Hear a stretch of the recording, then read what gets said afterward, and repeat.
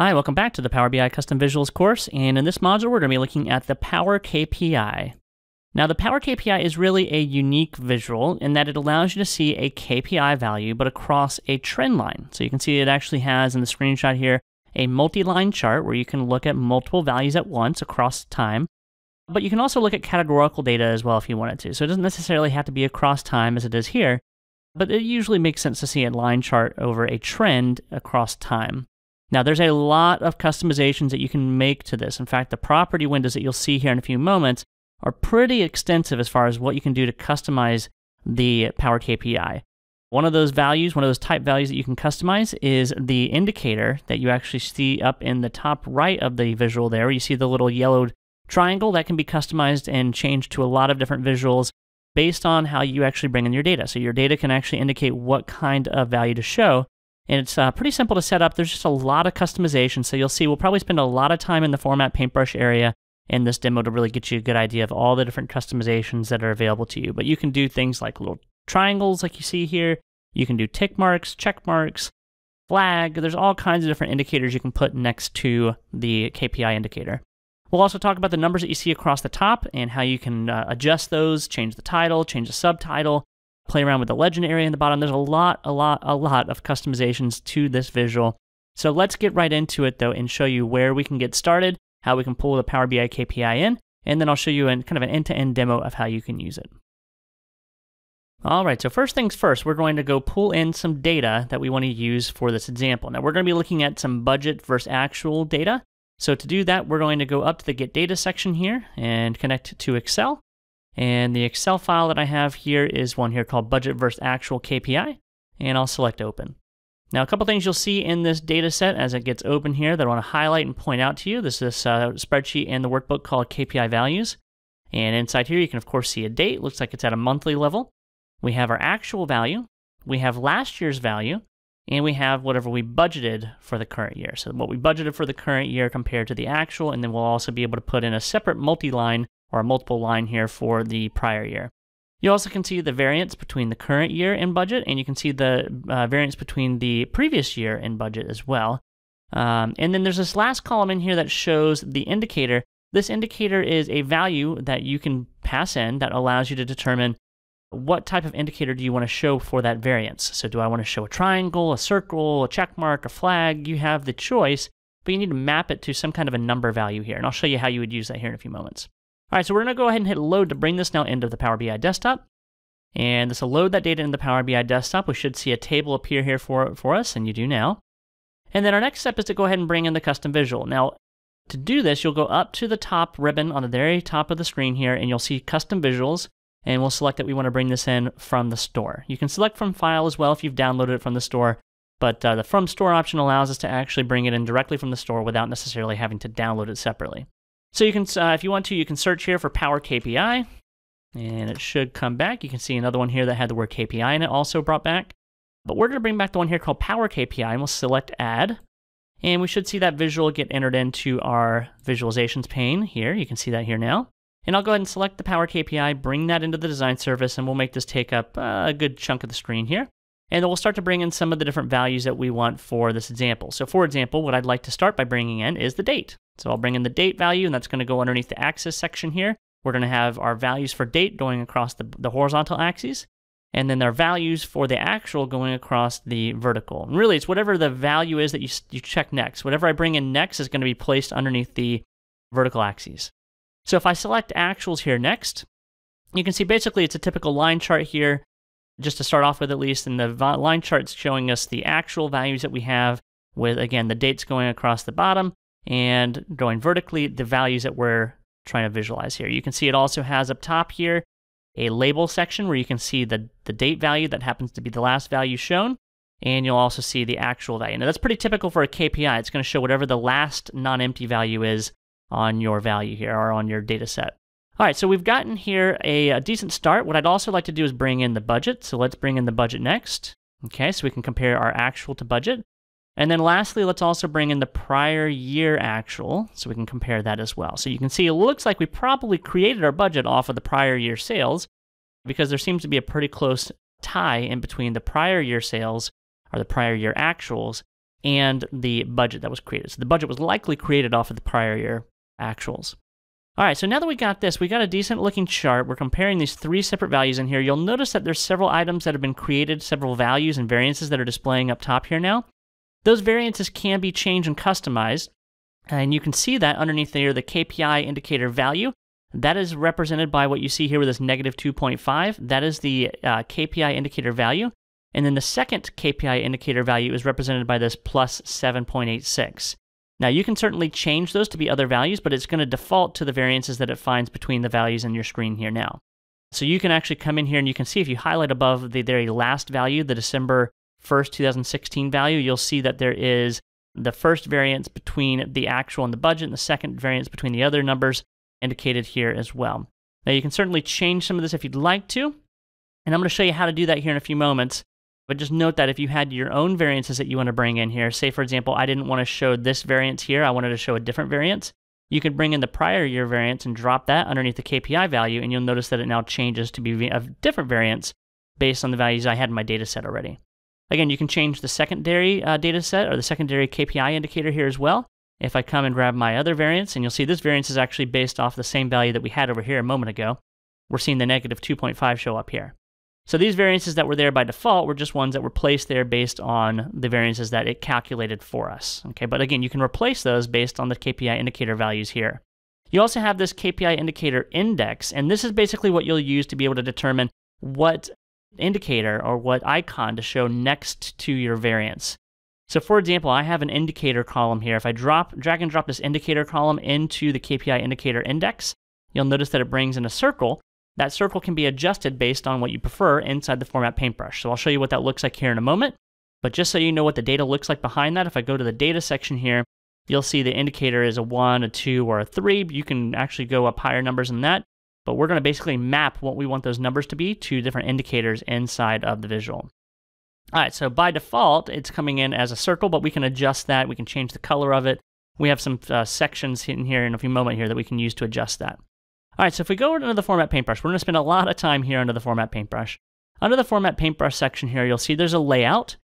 The layout really has to do with the scaling of this visual. So as you tend to, to, to change the size of here, you'll notice that it's doing some auto scaling for us, some auto adjusting, even until we get all the way down to the, the smallest unit here. You can see it's automatically adjusting the way these look for us, and it does a pretty good job of this. Uh, and that's all done by this section that's turned on by default right now, this layout section where it has auto scaling turned on and auto layout turned on. If you turn that off, you can actually come underneath here and you can change where you want the scaling to occur and where do you want this legend to occur up top. So you can do things like maybe I want it to appear on the bottom, the labels to all appear on the bottom. And because it's no longer on auto, as you start to resize this, you'll notice that it stays on the bottom no matter what. Now we still had the auto scaling turned on, so you'll notice as we go really, really small here, it does uh, actually, because of the scaling, it gets rid of those. But the auto layout is uh, hard coding or determining where that uh, legend section and the labels are always going to be. Okay, so that's what the layout section is. I'm going to go ahead and turn that back on. Underneath the title, the title is what you see right here where it says actual budget, prior year actuals, and indicate, indi indicator by date. You can adjust what that says right here. You can turn it off if you want. So I can turn it off altogether if I wanted to.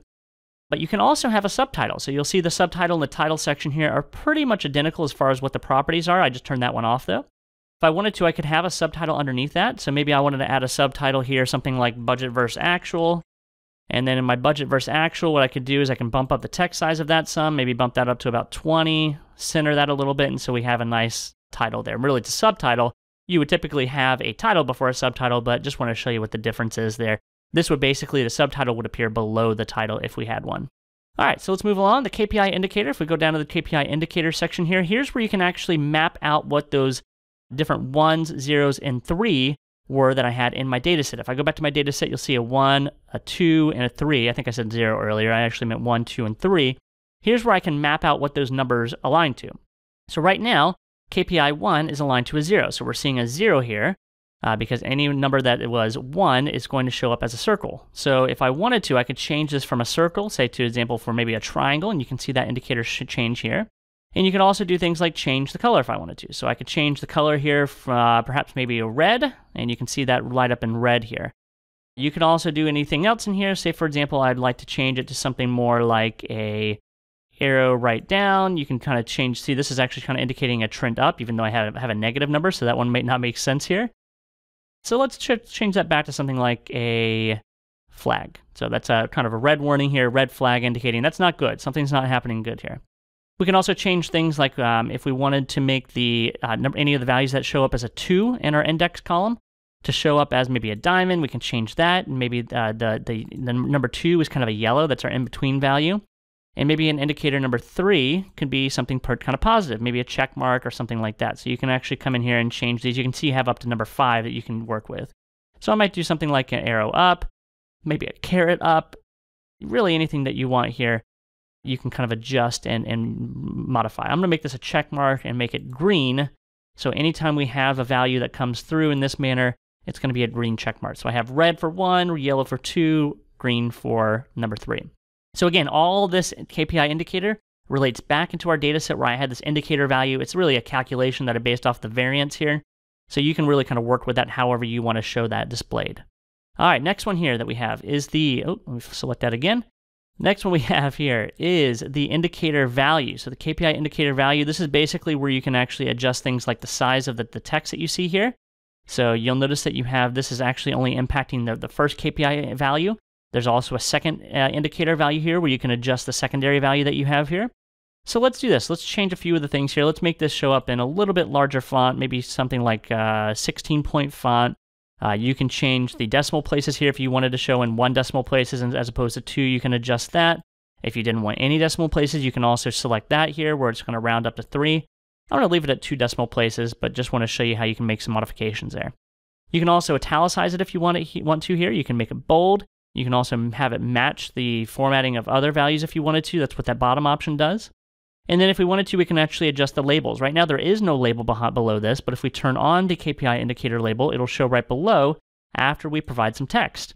So we can provide some text here that shows something like a budget versus actual, and we're adding a little bit of text right below that indicator you can see here. We can probably might want to increase the text size of that a little bit at least.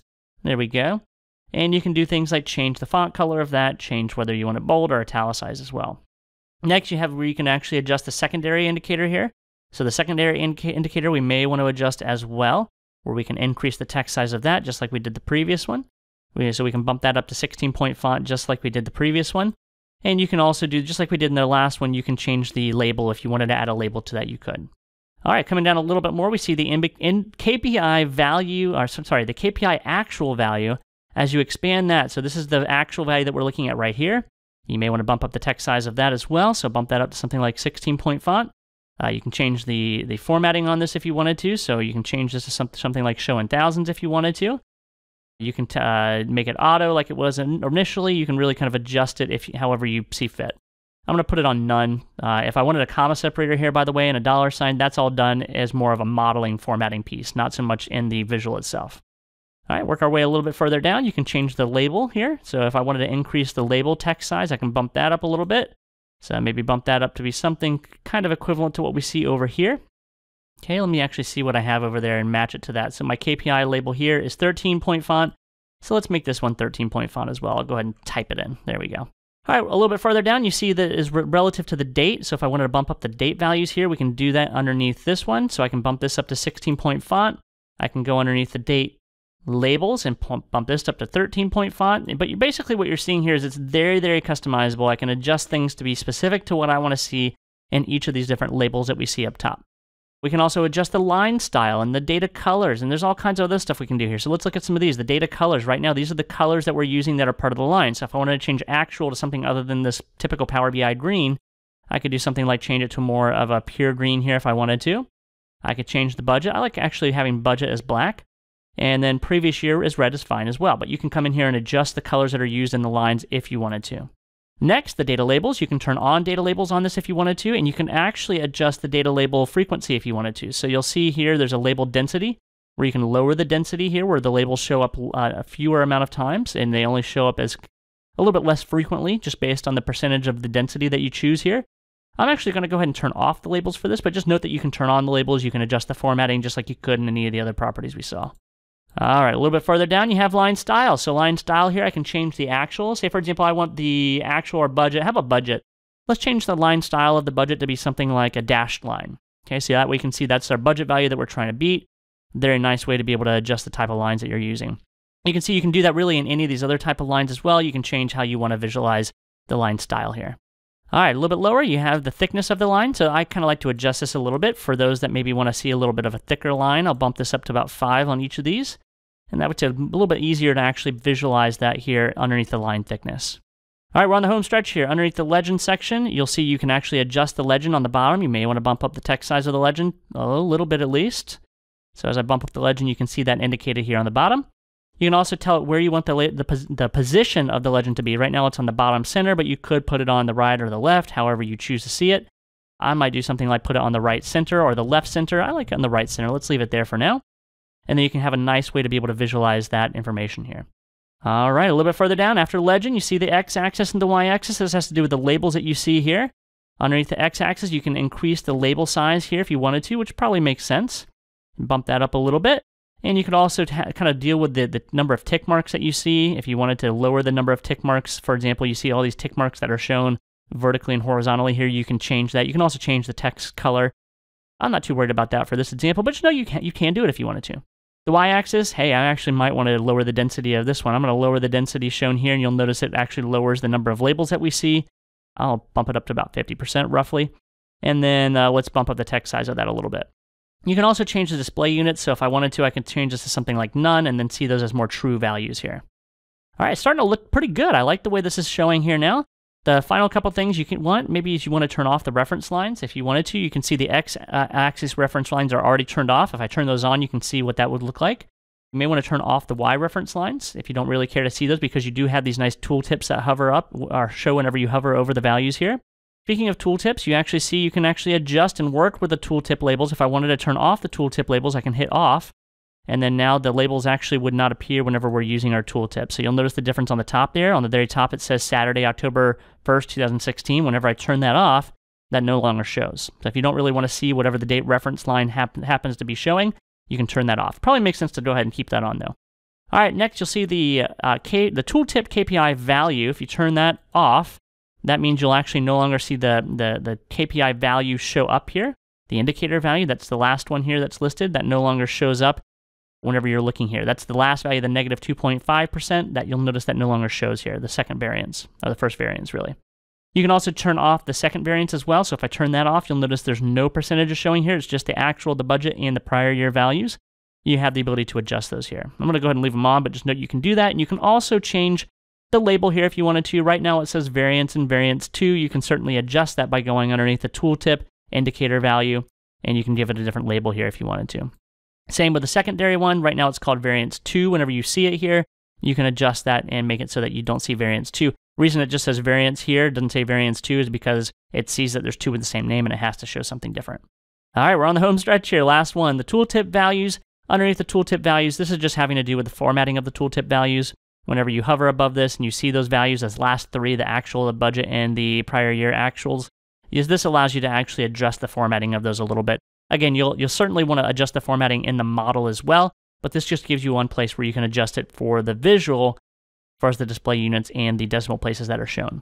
All right, finally, the last couple things you see here, the background, the locked aspect, the border, and the general, these all have to do with really values that you have in every one of the properties, in every one of the custom visuals or regular visuals. They always have these properties here on the bottom. I'm not really going to go over those in detail because you really have those in every one of the visuals, but just note that's also an option here in the Power KPI. Well, that's really it for this one. It's a pretty nice visual. You can see it actually created a fairly nice looking chart that shows us some of the KPI values here over time.